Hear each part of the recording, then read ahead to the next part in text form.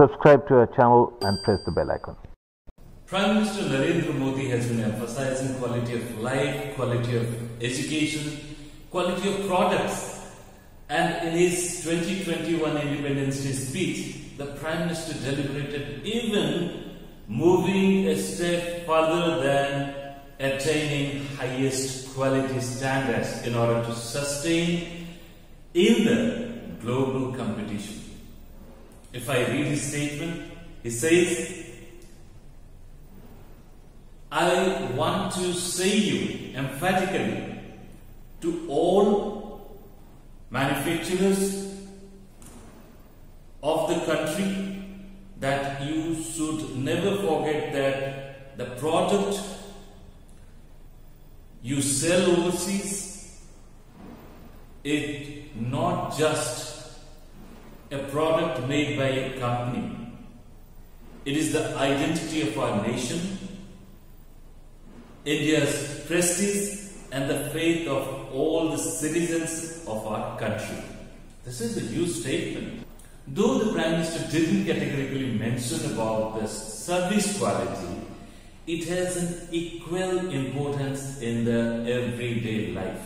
And it is an integral part of the manufacturing. And if you search the definition of quality, what does it say? How does it describe? Fitness for use, customer satisfaction, doing things right the first time, that is zero defect. And if we go to Webster's dictionary meaning, quality is defined as a degree of excellence and superiority in kind. So you think about it, the service in a degree of excellence, superiority in kind. That is service quality. And you know, we talk here in our channel, we only talk about environment because if there is good environment, then there is everything. We sustain, human life sustains. And if you don't have good environment, good air quality, good water quality, good soil quality, probably we perish or maybe you know our life is in a jeopardy.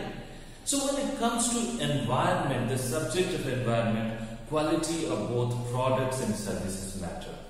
Such products may be pollution control devices, which are used in manufacturing plants to treat their aqueous gases or solid waste, acoustic treatment of sound, online systems to quantify the quality of air, water, soil and noise environment, and also various related components.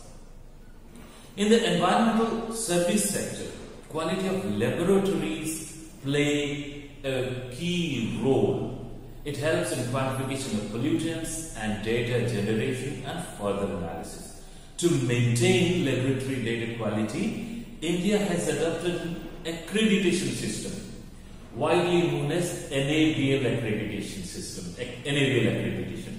NABL is what? National Accreditation Board for Testing and Calibration Laboratories. And it is an accreditation body that also certifies ISO 17025, primarily which is related to environmental laboratories. And it has been certifying since 2005. And it is a constituent of Quality Council of India, QCI. NABL is not limited to the accreditation of uh, environmental laboratories. It has any, any, any testing laboratories, any calibration laboratory, medical testing laboratories can avail accreditation uh, from the uh, from the NABL for on their specific requirements. In fact, it may, it is it may not be it may not be 17025. It may be on, based on some other uh, ISO standards. However, even after 17 years of implementation of ISO 17025, reports issued by laboratories bearing NABL symbol. People often call it NABL logo, but it should be told as NABL symbol. Those reports contain terrible errors. And there are plethora of examples of incorrect or improper reporting by environmental laboratories. Interestingly, these erring reports successfully penetrate through expert appraisal committees pertaining to environmental clearance of sensitive projects under EI notification and even their compliance reports. Now, such reports containing flawed data are not limited to private laboratories only. Government run laboratories often issue such ambiguous and wrong reports. And what is most alarming?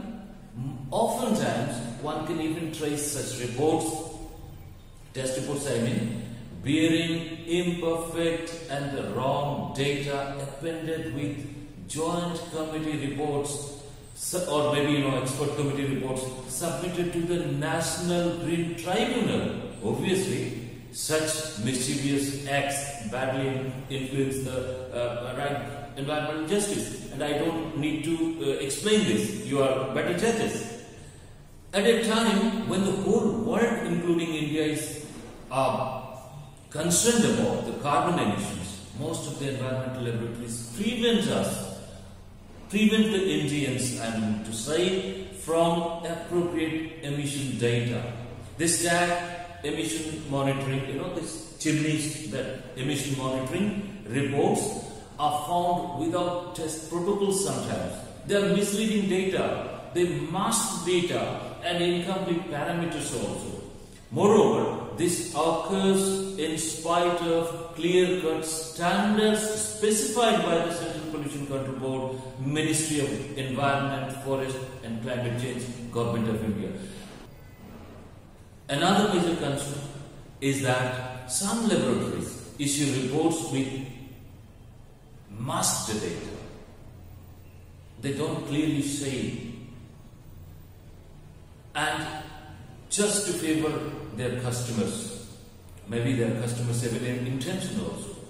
This is against impartiality clause of ISO 17025 standards. It has severe ramification in, in, in certain cases because environmental issues have direct impacts on health of human beings, living beings. Now, how to overcome it? A befitting way to avert this challenge could be an immediate revision of standard reporting formats or introduction of new ones if there is no existing one.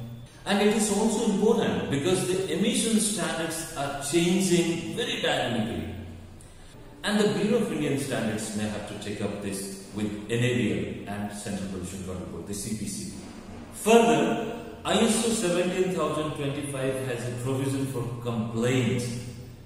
It's defined as an expression of dissatisfaction by any person or organization to a laboratory relating to the activities or results of that laboratory.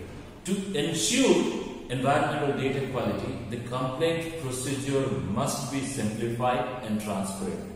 In this digital age, it should be made clearly visible on the laboratory's website and NABL can certainly make it possible, make it happen.